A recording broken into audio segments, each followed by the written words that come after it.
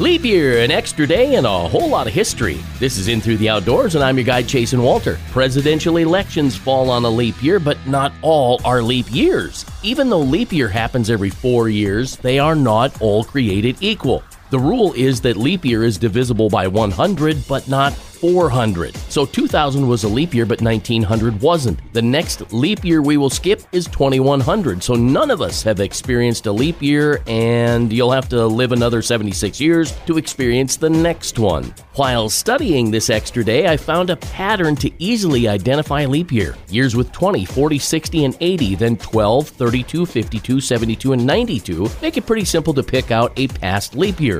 Like 1936, Rapala carved his first original floating crank. In 1948, Howard Lund built his first boat. The first pontoon hit the water in Minnesota in 1952.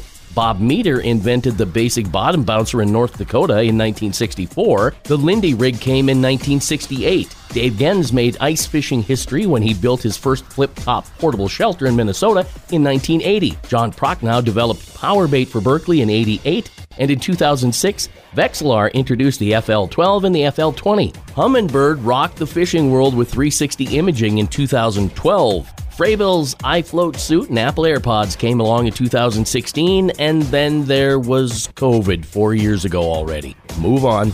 Happy Leap Year 2024. I'm Chasen Walter, and that's In Thru the Outdoors. I hope you get out there real soon. As for me, there's no doubt I'll be out chasing Walter.